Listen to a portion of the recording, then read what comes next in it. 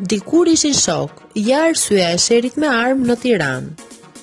Të tjera detaje mbi ngjarjen e djeshme në Tiranë. Në orët e para, u regjistrua përplasja me armë.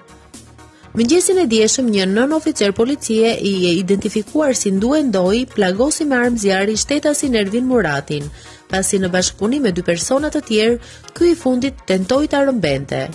Të gjithë personat e përfshirë në ngjarje janë studentë të Akademisë së Sigurisë në Tiranë. Sipas të dhënave më të fundit, shkak për këtë ngjarje mësohet të jetë bërë një borxh i vjetër që vëllai i punonjësit të bashkisë u kishte personave që kërkuan ta rrëmbenin. Ngjarja ndodhi pranë një lokali në zonën e Saukut. Efektivi i policisë nëninspektori Ndue Ndoj, 25 vjeç, u largua nga vendi i ngjarjes së bashku me autorët e tjerë, ndërsa i plagosuri Ervis Murati, 27 vjeç, u transportua në spital ku mësohet se ndodhet jashtë rrezikut për jetën. Ndue Ndoj u vetëdorëzua në drejtorinë e policisë së Tiranës, ku mësohet se tashmë hetimin e çështjes e ka marrë shërbimi për çështjet e brendshme dhe ankesat.